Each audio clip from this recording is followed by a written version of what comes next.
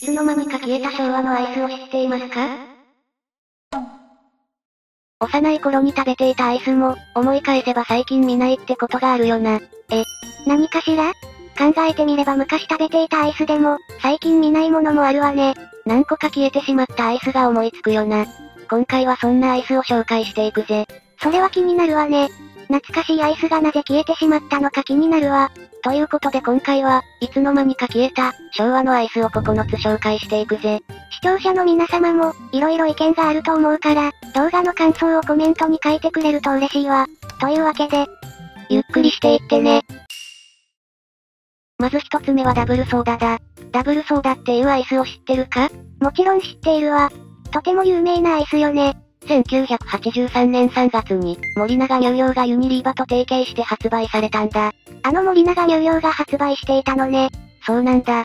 そのダブルソーダの最大の特徴は、一つのアイスに棒が2本ついており、簡単にパキッと2つに分けることができるんだ。それがダブルソーダのいいところよね。懐かしいわ。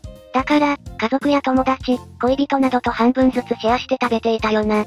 確かに、ダブルソーダはアイスを2つに分けることができるから、シェアするのにぴったりなのよね。メーカー希望小売価格が60円だったことから、小学生でも手軽に買える値段で親しまれてきたよな。しかし2017年に販売終了になっているんだ。そうなの？最近見ないと思ってたけど販売終了していたのね。約30年も続いたアイスなのに寂しいわね。そうなんだ。でも、実はダブルソーダには全身商品があるんだ。1965年に発売された、ソーダアイスがそれなんだ。だから、ダブルソーダはソーダアイスを改良して、1983年に新たに発売されたんだ。なるほど、ダブルソーダはソーダアイスを元にして作られたのね。全身と合わせると結構な歴史ね。でも、うまく二等分されずに歪な形で分け合うこともあったわよね。確かに。うまく割れなかったり、氷具合が片方に偏っていたりして、いつも公平に分けるのは難しかったよな。そんな思い出もあるぜ。ちなみに私とレイムが分けるとなったら大きい方が私だぞ。なんでよ。でも、ダブルソーダが販売終了した理由って何かしら？販売量の減少だ。最終的に2017年3月末に販売を終了してるぞ。ソーダアイスも含めると、超ロングセラー商品が半世紀以上も販売された後、販売終了となったんだぜ。そうなのね。やっぱり時代の変化や消費者の好みの変化で、需要が減ったのかしら？でも、長い間愛されたアイスが終了するのは寂しいわよね。まったくだな。ダブルソーダのような懐かしい味を、もう一度味わいたいって思う人もいるだろうし、販売終了はちょっと残念だよな。そうね。でも、新しいアイスも次々と登場しているから、また別のお気に入りの味を見つけることもできるかもしれないわよ。そうだな、食べ物の世界も進化していくから、新たな美味しさを楽しんでいこうぜ。二つ目は宝石箱だ。宝石箱というアイスクリームを知ってるか？かつて雪印乳業が販売していたんだ。宝石箱？初めて聞くわ。どんなアイスクリームなの？宝石箱は、白いバニラアイスの中に、カラフルでフルーツの香りがついた氷粒が散りばめられているんだ。まるで宝石が輝いているみたいなコンセプトなんだぜ。なるほど、宝石のようなアイスクリームなのね。商品名の宝石箱がお似合いのアイスね。宝石箱はどのくらいの期間販売されていたのかしら？宝石箱は1978年から1983年まで販売されていたんだ。結構短い期間だったぜ。それなら、その間にどれくらいの人気があったのか、気になるわね。発売当初はかなり高級品で、定価が120円だったんだ。他のカップ入りアイスが50円で売られていた中で、2倍以上の価格設定だぜ。なるほど、高級感のあるアイスクリームだったのね。さすが宝石。そうだ。宝石箱は、アイスクリームに分類されていて、品質も他のカップ入りアイスよりも高かったんだ。パッケージのデザインも、値段に合わせてこだわっていたのかしら？宝石箱のパッケージは、黒を基調とした四角い形状で、紙製だったんだ。蓋と側面の角はラウンドになっていたぜ。おしゃれなデザインね。まさに高級感を漂わせているわ。フレーバーはどんな種類があったのかしら？最初のラインナップはストロベリー、メロン、オレンジの3種類だったんだ。後にチェリー、モカコーヒー、レモン、アップルカクテルの4種類が追加され、合計7種類が存在したんだ。なるほど、豊富なフレーバーがあったのね。どのフレーバーが人気だったのかしら？実は発売当初から後に追加された4種類のフレーバーは、あまり流通していなくて、最初の3種類が主に売られていたんだ。なるほど、人気のあるフレーバーが中心だったのね。他にも特徴はあるのかしら？キャッチコピーは、バニラに香りの宝石散りばめてだったぜ。1978年の新発売時のテレビ CM では、ピンクレディーが起用されていたんだ。ピンクレディー？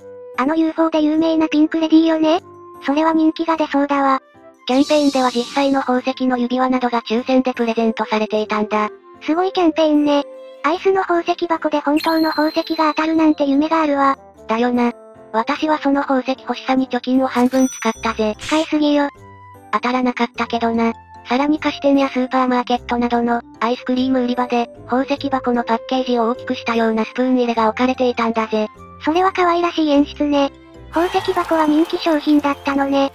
そうだ。宝石のような見た目と美味しい味が人々に愛されていたんだ。でも販売期間が短いわよね。宝石箱の人気は一時的なものだったのかしら？確かに宝石箱は、一時的なブームとして人気を集めたが、販売期間が比較的短かったため、その人気も一定期間で徐々に下火になっていったんだ。それは残念だったわね。一時的なブームでも多くの人々に楽しまれたのね。そうだな。宝石箱は特別なデザインやコンセプトで人々の目を引き、美味しいアイスクリームとしても評価されたぜ。一時的な存在ではあったが、その独自の魅力で多くの人々に愛された商品と言えるな。三つ目はエルコーンだ。エルコーンというアイスクリームを知ってるか？聞いたことがあるわ。なかなか有名よね。そうだな。エルコーンは1980年に発売されて以来、多くの人々に親しまれてきたぜ。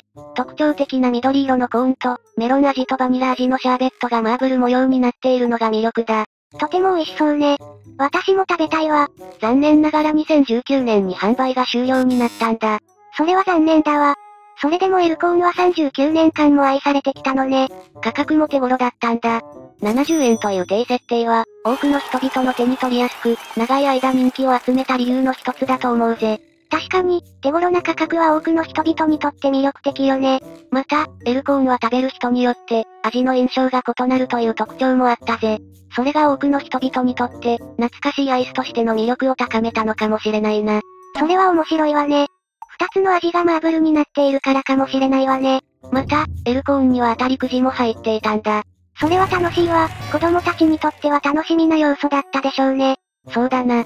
当たりくじを探す楽しみがあったことで、子供たちの間で人気を集めていたようだ。エルコーンを食べるだけでなく、くじ運も楽しめるアイスとして親しまれていたと思うぜ。先ほどの宝石箱に引き続き、当たりを当てるために貯金の半分を。もういいわよ。エルコーンの名前の由来も気になるね。名前の由来は、もともと小さいサイズのアイスがあったんだが、エルコーンはそれを大きくしたラージサイズとして登場したんだ。そのため、L サイズからエルコーンと名付けられたようだぜ。しかし、残念なことにエルコーンの製造販売が終了したのね。そうだ、販売元の双葉食品株式会社が製造販売終了を発表したぜ。発表後はエルコーンを惜しむ声が多数あったそうだ。エルコーンの終了は、多くの人々にとって残念なニュースだったでしょうね。長い間愛されてきたアイスクリームがなくなるのは寂しいわね。そうだな。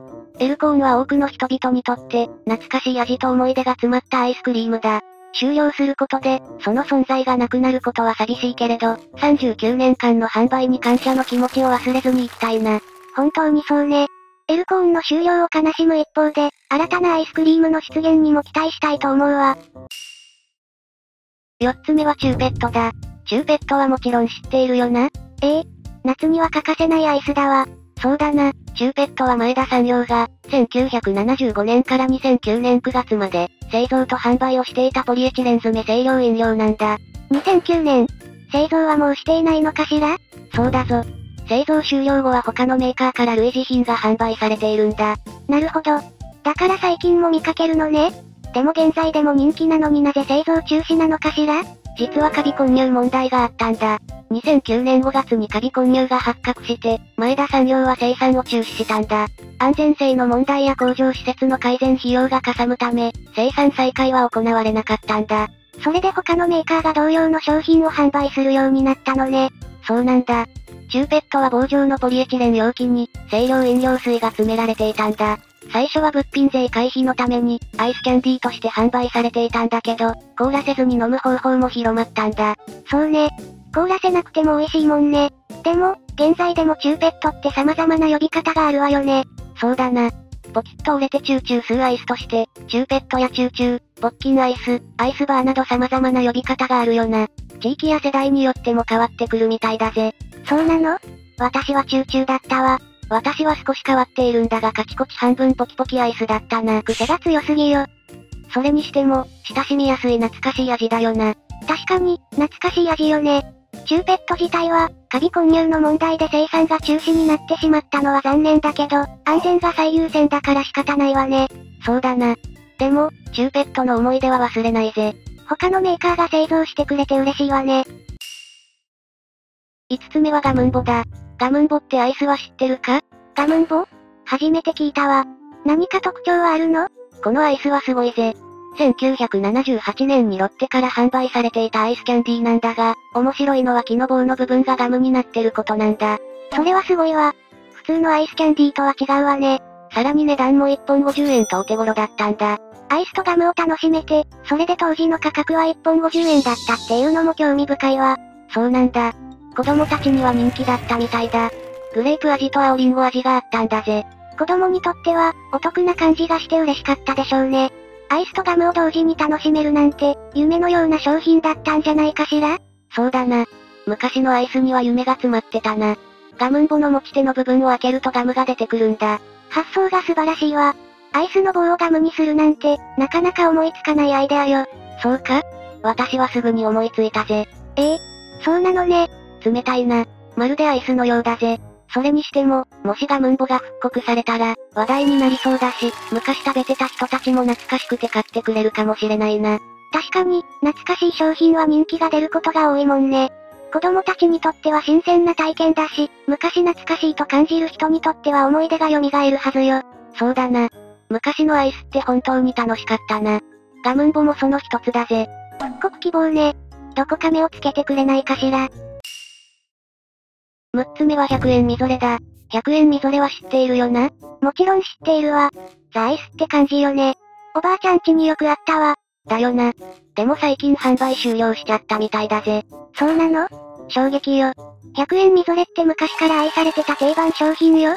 そうなんだ。シロップがかかったかき氷の真ん中に、アイスやあんこが入ってて、安くて美味しかったよな。ファンの中には残念がる声が上がってるみたいだぜ。私もその一人よ。販売終了したのはいつからなのか気になるわ。実は、気づかないうちに販売終了の準備が進んでたそうだ。最終的に2018年に生産終了が発表されたぜ。とてもショックだわ。100円みぞれシリーズにはいろんな味があったよな。そうよね、みぞれ練乳がけいちごが一番好きだったわ。私もだ。他にも、みぞれ白、みぞれ宇治金時、みぞれ練乳がけ金時、そしてコーヒーフロートもあったぜ。みぞれを知らなくても、アイスを見れば、ああこれねってわかるよね。そうだな。みぞれって全国で販売されてたから、きっと多くの人が見たことあるはずだよな。私はコーヒーフロートも好きだったわ。ほろ苦いコーヒー氷にバニラアイスが混ざって甘くなって、コーヒー牛乳みたいな味わいになるよな。森永のロングセラー商品が販売終了とあって、ネットでは残念がる声が多いみたいだぜ。いつの間にか100円みぞれが販売終了してて切ないって意見や、みぞれかき氷大好きなんだけどあんまり見ないなんて意見があったぜ。そうよね。夏は食べたくなるわよね。ああ。SNS 上でも、100円みぞれがなくなるの悲しいとか、100円みぞれマジかよって感想が多かったんだぜ。私も最初聞いた時は驚いたけど、最近見かけなかった理由がこれで判明して納得よ。まさか3年前から徐々に生産を中止してたなんてな。もしかしたら、私も徐々にいなくなるかもしれないぜ。確かに最近、影が薄いわよね。余計なお世話だ。7つ目は里の栗だ。里の栗っていうアイスは知っているか？里の栗は食べたことがあるわ。とても美味しいわよね。でも里の栗も、もう昔の話になっちゃったんだ。そうなの？里の栗まで、生産終了になってしまったのね。でも、懐かしい味を再現した復刻版があるみたいだぜ。それは朗報ね。消えたアイスを復刻版で食べれるのはありがたいわ。そうなんだ。復刻版はファミリーマートで発売されたぜ。昔の人気商品を復活させるって、良いアイデアだよな。コンビニが復活させてくれたのね。そうなんだ。ファミリーマートはあなたの嬉しいをキーワードに、懐かしいアイスを再び楽しめるようにしてるみたいだ。里の栗は、当時は珍しい栗を使ったアイスバーだったわよね。栗ペーストのアイスの中に、柔らかい栗ソースが入っていて美味しかったわ。よく覚えているな。栗の甘みがたっぷり広がるしっとりとした口当たりで、濃厚な味わいを楽しめるんだ。復刻版では再現できているのかしら？栗ソースも増量されてるって聞いたぜ。さらに栗の風味を楽しめるようになったんだ。素敵だわ。復刻版は終わっているかもしれないけど、見かけたら食べたいわ。そうだな。アイスだけで栗の味をたっぷり楽しめる里の栗は、まさに栗好きにはたまらないアイスバーだな。私も栗は大好きだから、ぜひ食べてみたいわ。復刻版の里の栗、美味しそうね。それにしても昭和時代の里の栗も美味しかったわよね。昔のアイスって、価格も手頃で本当に美味しかったよな。そうね。50円で栗を満喫できるなんて、今じゃ考えられないくらいお得よね。そうだな。懐かしいアイスの復刻版が発売されたり、昔の味を楽しめるイベントがあったりすると、ついつい思い出に浸ってしまうよな。あの甘さは、まるで初恋の。もういいわ。でも昔の味って、ただ美味しいだけじゃなくて、当時の思い出とも結びついてるから特別なのよね。そうなんだぜ。食べ物って、人々の心に深い思い出を刻むんだな。だからこそ、昔の味を再現した商品が人気なんでしょうね。みんなが懐かしい気持ちになれるからニーズがあるのね。そうだな。食べ物って、ただのエネルギー補給だけじゃなくて、心の栄養にもなるんだな。本当にそうよね。美味しいものを食べると、心がほっとするわ。里の栗も復刻版が出た時は、SNS でも、懐かしいという声がたくさん上がってたみたいだぜ。そうなのね。里の栗の人気が伝わってくるわね。そうなんだ。ファミリーマートは懐かしい商品を復刻しているみたいだから、これからも楽しみだぜ。八つ目は黒キュラーだ。黒キュラーっていう真っ黒なアイスを知ってるか？黒キュラー？聞いたことはあるけど、詳しくは知らないわね。1983年にロッテから誕生したアイスなんだ。パッケージにはドラキュラみたいな緑色の顔が描かれているぜ。そのパッケージの中から黒いアイスが出てくるの？黒のアイスって珍しいわね。チョコ味かしら？そう思いたくなるけど、実はストロベリー味なんだ。食べる人の予想を裏切る要素がたくさん詰まっているぜ。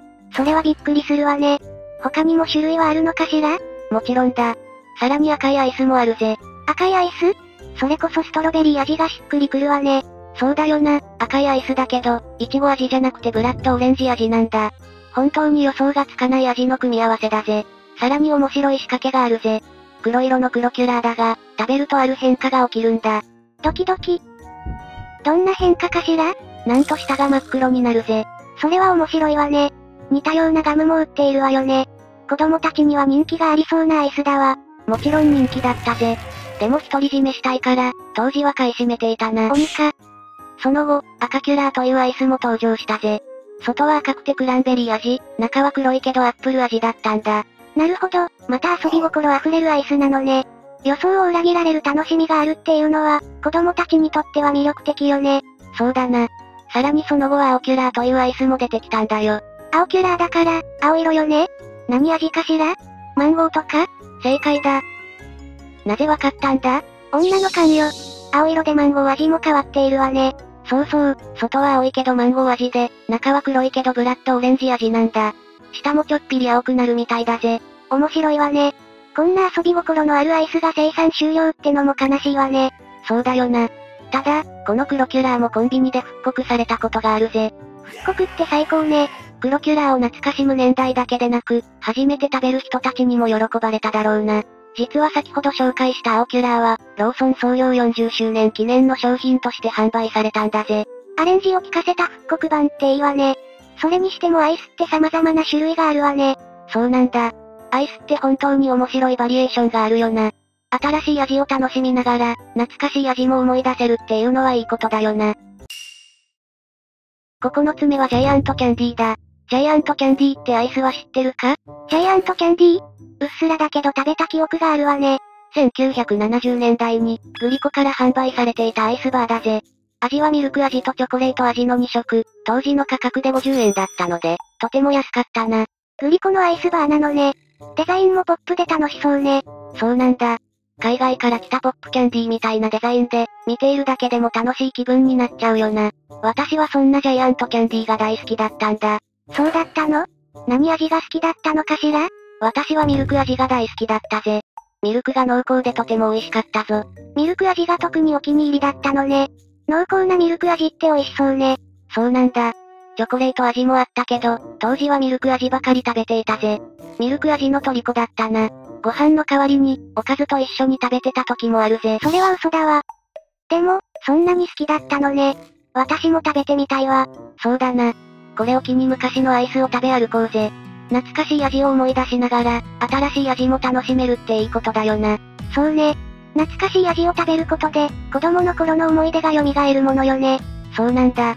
昔から食べられてきたアイスは私たちだけでなく、多くの人々に愛されたアイスだったんだ。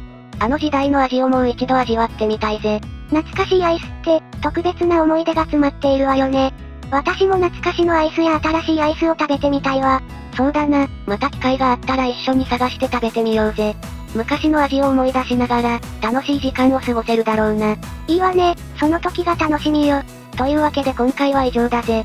最後まで見てくれて、ありがとうな。チャンネル登録やコメントなども、ぜひよろしくお願いします。それではまたお会いしましょうだぜ。